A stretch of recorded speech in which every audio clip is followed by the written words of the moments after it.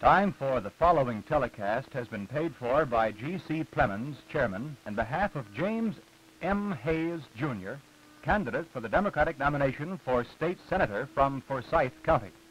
Now, here is Mr. James M. Hayes, Jr. The year 1960 is a time for politicians to expose themselves to the scrutiny of the public. Those of us who find ourselves in the midst of the electorate seeking votes share a common hazard. We're expected to strut, to preen, to advertise our personality and charm. We're expected to entertain.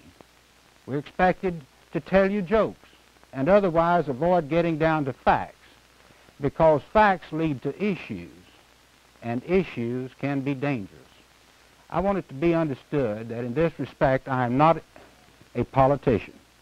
I am not in a personality contest.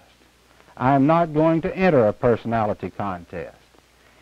Instead, I am in a political contest, and I promise it will be one of the most intensive that county has ever seen. Political campaigns are supposed to be governed by certain rules, and every eager candidate is supposed to conform to those rules. It's like gardening in the spring.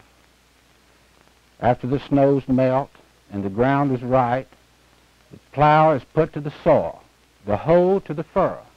Then the good gardener carefully scatters fertilizer into the loamy soil because he knows that without it, his plants just won't get to first base.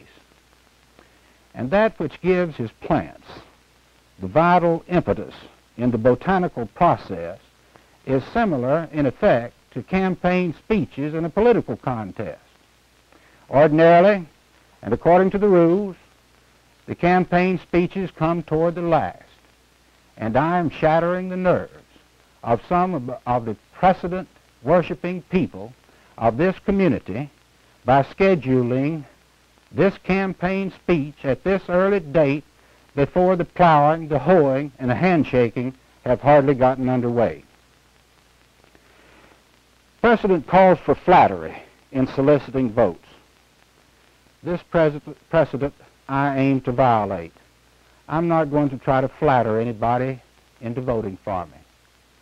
I am going to ask you for advice. I am going to listen to your problems. And if you elect me, I will champion your rights on the floor of the state senate in the face of any foe or combination of foes. Voters are assumed to be too indifferent to want to know or to understand the issues of government. It is therefore no loss and considerable gain for the precedent-seeking candidate to wait to the last minute to declare before his electorate where he stands.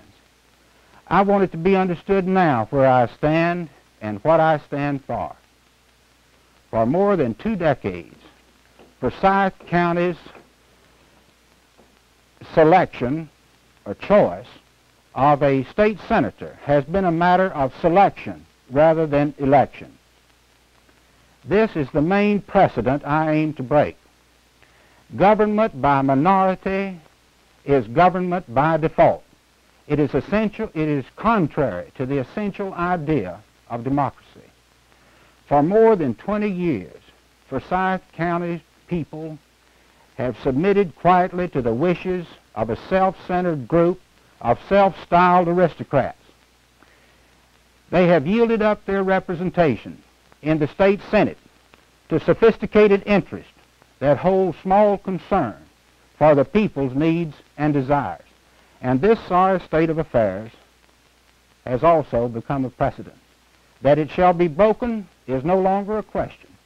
I have already shattered this precedent, for whoever wins this contest will have to earn his victory through the majority wishes of the people. And why have the needs and desires of so many of us been denied by so few for all of these years? I will tell you why, and the answer is going to hurt. It is because of our own apathy and indifference. As to the office of state senator, we have allowed ourselves to be dominated. Domination in this community is figuratively a twin-headed monster consisting of social snobbery and political snobbery. As to the first of those heads, we cannot do anything. But as to the second, it's going to have to roll because American citizens oppose being controlled. In certain situations, we have to live with domination, but we do not have to like it. Thousands of our men tasted the harsh sting of domination in the military service. Most of them got out as fast as they could, patriotically. Now, this county is no military establishment, and there will be no more political domination and political snobbery within its borders. Because this is the issue of this campaign political domination, and I am against it. I am asking every citizen of this city and county to step up, join ranks, sound off, and fight by my side in this battle. The business of a privileged few dominating the social life of this community is none of our business and none of our battle. But that which is a part of both is the sacred right of self-determination in the field of government, a proposition to which millions of American lives have been dedicated. And why? In order that we might enjoy the privilege of the ballot box. When I speak of a privileged few, I'm speaking of good men. I'm speaking of men as benevolent to good causes as any comparable group of men on earth. But benevolence is one thing, and politics is another. It's like church and state. There are those of us who believe that they ought to be separated. Now, when people conclude that they know better what is good for us than we know ourselves, then that's throwing democracy out the window. When we allow others to think for ourselves, then we, not they, suffer the consequences. As we search our conscience about our obligations as citizens and what we have done to discharge, discharge those obligations, we all deserve to feel a sense of shame. I confess that I myself was indifferent, as indifferent to political domination in this county as anyone else until along about last fall, when for the sake of progress, 11,000 adult citizens of this community faced the undemocratic specter of having their right to vote taken away from them on a proposition of their own taxes. It was then that hearts began to pound with the firm conviction that that was not right. And with that conviction, their battle flag, they marched into the city where they had no vote and performed a political miracle. It was then that people began to ask themselves, where did that law come from? In answer to that question, other questions arose until it began to include not just the subject of an annexation, but it began to include the subject of teachers, of state employees, of public education, of old people, the handicapped, the totally disabled, a double year's income tax sting, and last but not least, the laboring man and woman. And when the answers were total, it was thought to be both necessary and important that this political contest take place. That is to date the history of a newborn movement of community concern in this county. And here are the issues. On April 10, 1959, at a county-wide parent-teachers conference at Mineral Springs School, Senator Davis said, quote, on balance, it is my judgment that North Carolina is doing all it could reasonably be expected to do in the field of public education, end quote. He then went to Raleigh and voted against the teachers and state employees. I would have voted for them.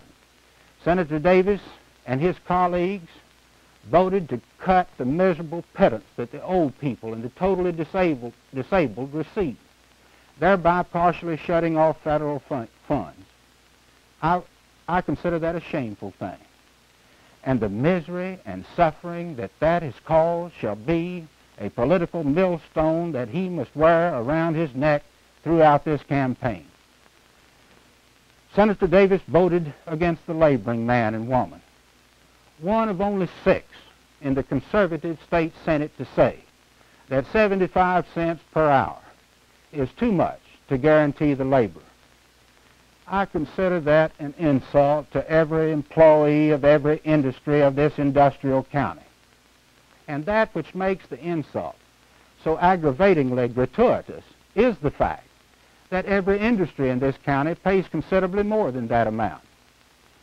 And if the laboring man and his family had to live on the amount that Senator Davis said was too much to guarantee they would literally starve to death. North Carolina is already 49th lowest in the United States in per capita income. Would Senator Davis make it the 50th? For whom or what was he voting then? Was he representing the people? Certainly not. Back in 1947, when I was in the General Assembly, I did my best to represent the needs and aspirations of the average citizen. I'm not going to stand here and boast about my record because boasting strikes a discordant note to the human ear. But if anyone wants to attack my record, I'm going to see if some more time can become available on this same media for the purpose of proving to this audience that I did represent the needs and aspirations of the average citizen. Since I have had the temerity to buck political precedent in this county, I've been accused of everything, from a left-winger to a Republican. The businessman knows I'm no left-winger, and as to the charge of being Republican, I wish to state that one of my supporters, Mr. G.C. Plemons, one night took 18 people to be registered, six of whom were lifelong Republicans who changed their party affiliation in order that they might vote for me. The conversion of a Republican, I submit, is the most rewarding evidence of political loyalty. Bear in mind, the real reason for these labels is that I am bucking the historic appointed system in this county, and those who wish to keep on pulling the strings are mortally afraid they're losing their control. There are people of this state and nation who accuse us of being a provincial, mill village type of people, or worse, a herd of sheep that wander meekly in the direction we're told to go. I say we're not sheep. I say we're no mill village. We are instead a progressive and growing community of proud and effective citizens.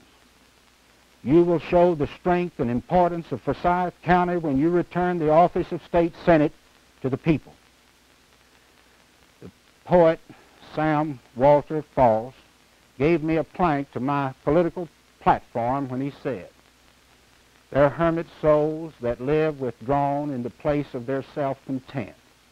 There are souls like stars that dwell apart in a fellowless firmament.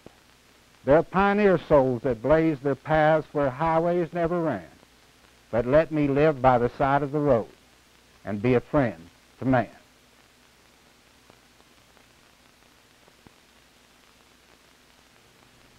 You've been listening to Mr. James M. Hayes, Jr. Time for this telecast was paid for by G.C. Plemons, Chairman, in behalf of James M. Hayes, Jr., candidate for the Democratic nomination for State Senator from Forsyth County.